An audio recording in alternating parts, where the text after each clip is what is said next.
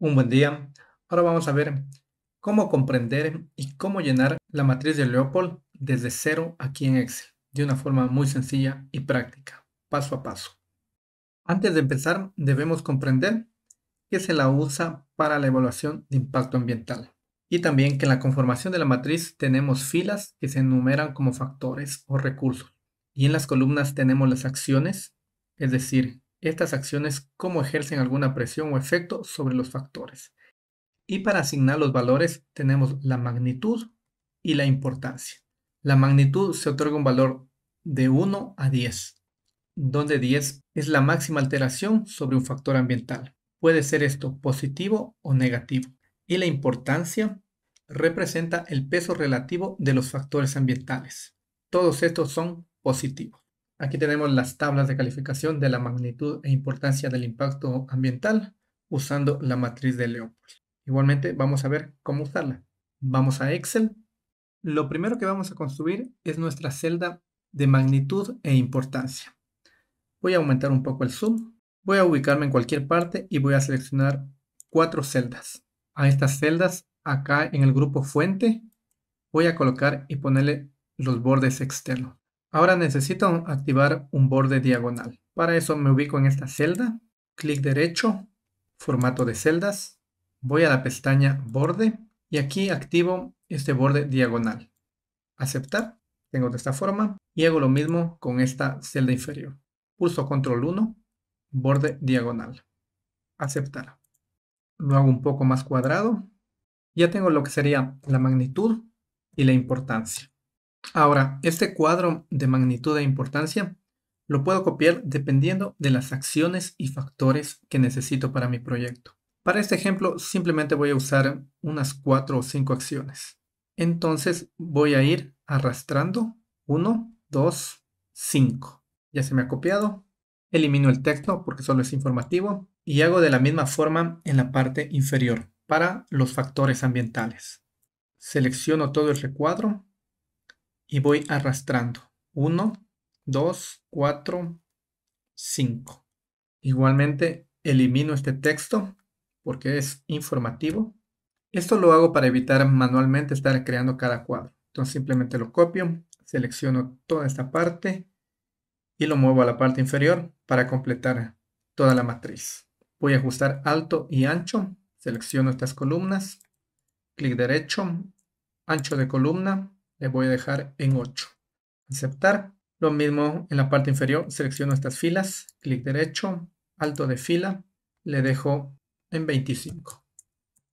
Ahora que tengo lista la parte central de la matriz, voy a nombrar las acciones. Sería acción 1, acción 2, 3, 4, 5 y 6. Y lo mismo hago para los factores.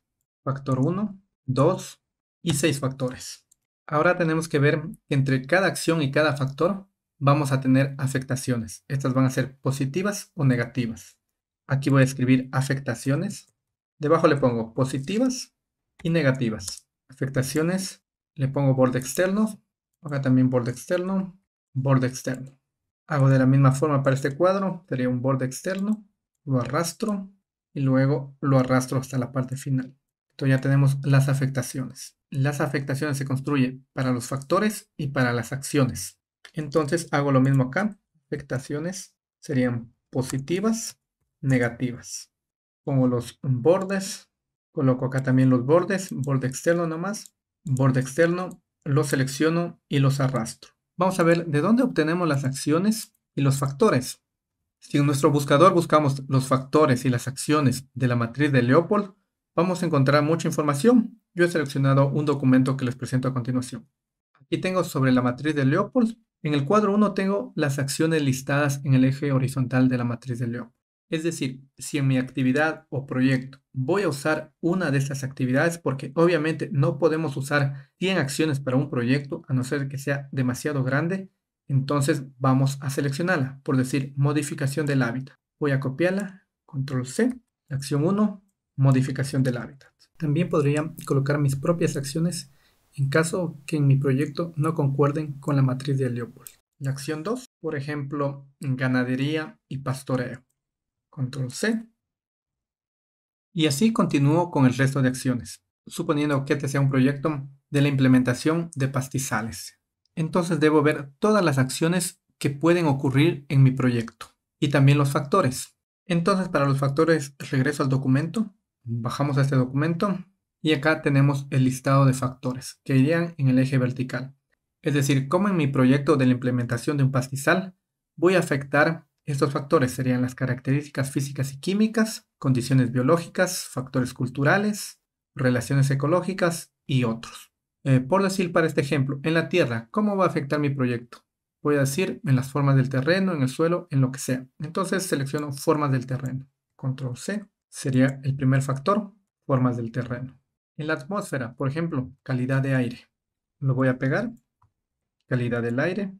Y así continuamos, tanto con los factores y con el resto de acciones. Una vez que tengo listas las acciones y los factores, vamos a proceder con la calificación. He puesto del mismo color cuando pertenecen a un mismo grupo, por ejemplo, acá en las acciones fertilización y control de malezas. Corresponde fertilización y control de malezas a tratamientos químicos. Y en los factores árboles y pastos, corresponde a flora. Entonces procedemos con la calificación para ese proyecto, por ejemplo, de implementación de pastizales. Pastizales con ese, perdón. Entonces vamos a ver la magnitud y la importancia entre los factores y las acciones.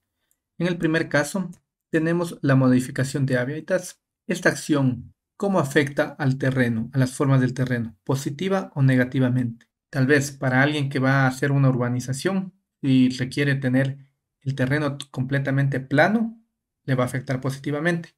Pero si hablamos de ecosistemas, le va a afectar negativamente. Entonces vamos, modificación del hábitat versus la forma del terreno. Esto lo vamos a tomar como un impacto negativo. Al estar modificando el terreno, entonces acá en la parte inferior he copiado las matrices de calificación. Como es un impacto negativo, voy a usar esta tabla y digo la intensidad que es baja, media o alta. En mi caso puedo decir es un pastizal de 2 hectáreas, entonces sería baja. La afectación de esta intensidad que sería baja, media, alta, yo le digo es media. Entonces calificamos con menos 2 en la magnitud.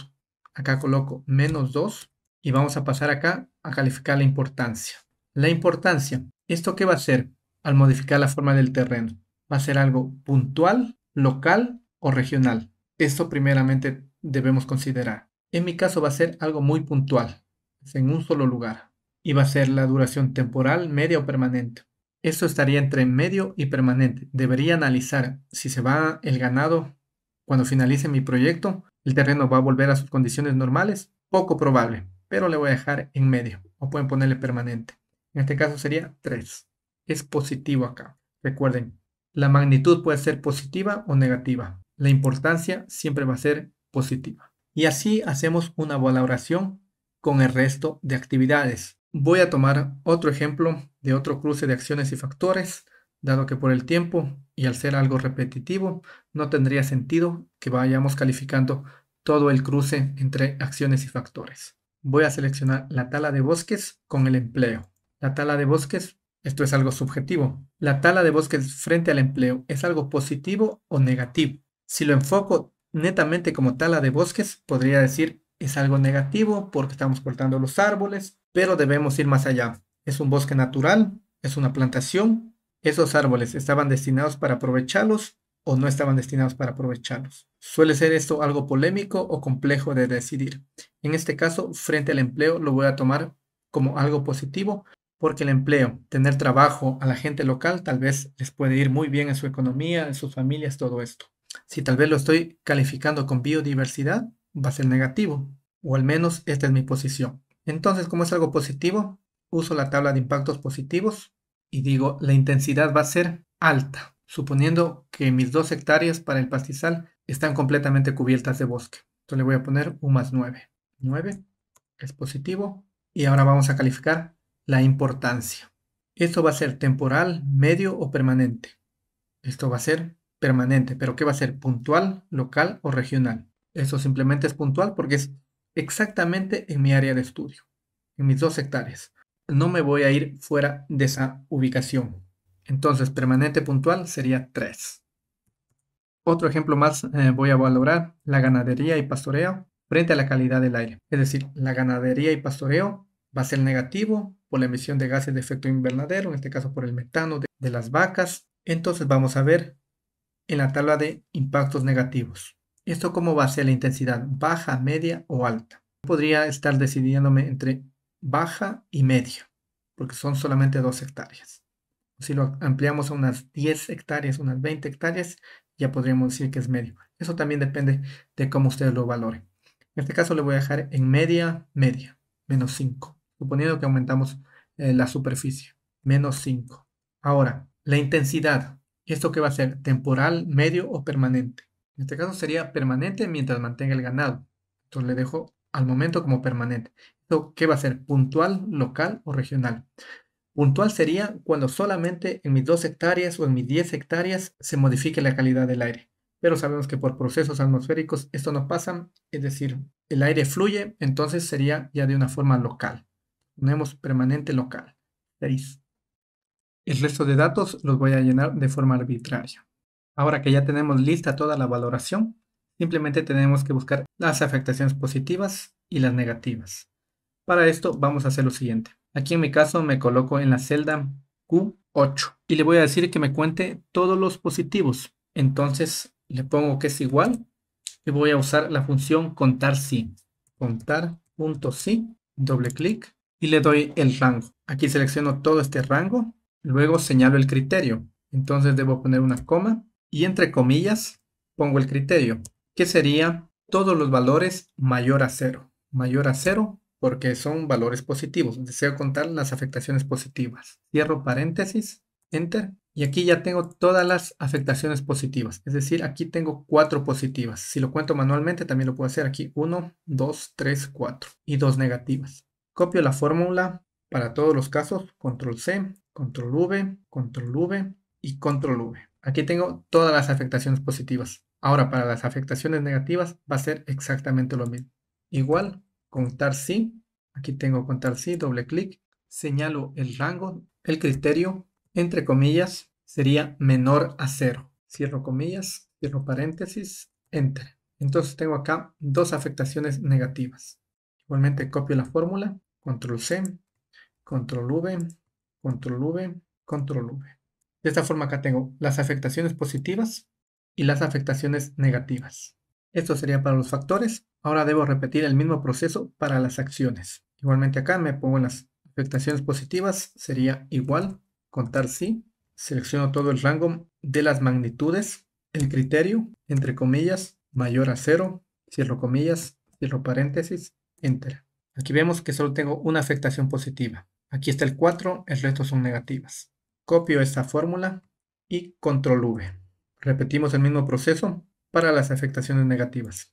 Igual, contar sí, doble clic, selecciono el rango, el criterio, entre comillas, menor a cero. Cierro comillas, cierro paréntesis, enter. Tengo cinco afectaciones negativas, copio la fórmula, control C, control V y control V. Ahora debemos calcular el impacto del agregado. Sería impacto del agregado. Para calcular el impacto del agregado es muy sencillo. Es la suma de los productos entre la magnitud y la importancia. Para este ejemplo vamos a poner esto es igual a igual menos 2 por 3. Ahora sumado más 1 por 1 sumado menos 2 por 2 sumamos 2 por 2 sumamos 1 por 1 sumamos 1 por 1 y le damos enter y ya tenemos el impacto del agregado. Voy a copiar esta fórmula igualmente, control C para el resto, control V y control V.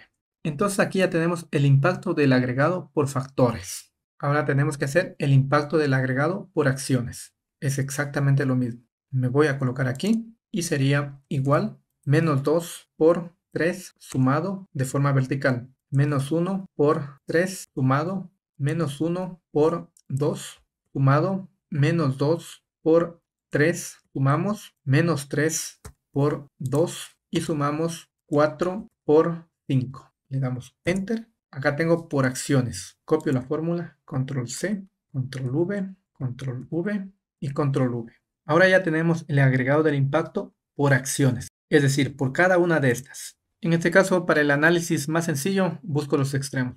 El menor es menos 17 y el mayor es 27. Aquí quiere decir la ganadería y pastoreo afecta más negativamente y los senderos afectan positivamente. Y por factores, el valor más alto tenemos 116, es decir, que afecta positivamente el empleo y menos 38 afecta negativamente la calidad del aire. Ahora simplemente hacemos la suma, por ejemplo, de las afectaciones. Sería igual, acá suma, doble clic, sumo todas, enter, afectaciones positivas 18.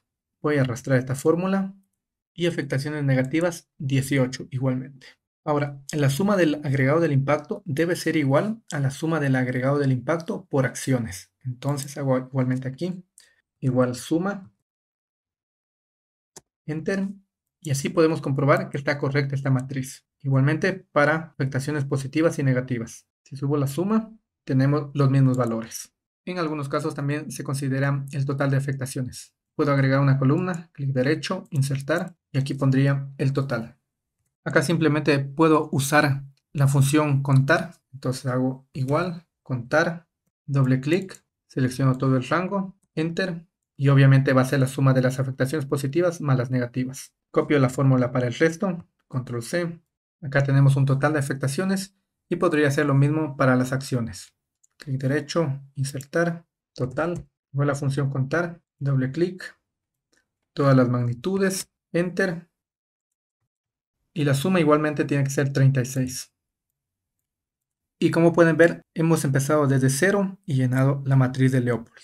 Para la valoración hay diferentes formas, por ejemplo tengo otro ejemplo. Aquí muestra un proyecto de construcción de túneles de menor o igual a 500 metros. Y para calificar nuestro proyecto finalmente, podemos calificarlo de forma negativa o de forma positiva y tenemos sus categorías. Por ejemplo, en este caso tengo el valor de menos 20. Negativo entonces sería que está entre 0 a menos 25 sería irrelevante. Acá en actividades, por ejemplo, tengo un agregado del impacto de menos 42. Menos 42 está entre menos 25 y menos 50. Entonces la calificación sería moderada. Y una calificación positiva tengo aquí 99. Sería el empleo. Aquí tengo muy importante, mayor a 50. Entonces el empleo es muy importante. Si deseo hacer la valoración general del proyecto, podría ser aquí opcionalmente un promedio. Es decir, del agregado del impacto saco la media. En este caso aquí tenemos promedio 0.4, calificación positiva, poco importante. Entonces podemos ver que es muy sencillo construir y valorar la matriz de Leopold. Y también acá presentamos esas categorías de calificación. Si te gustó este video, no olvides darle una manito arriba, suscribirte al canal y nos vemos en una próxima oportunidad.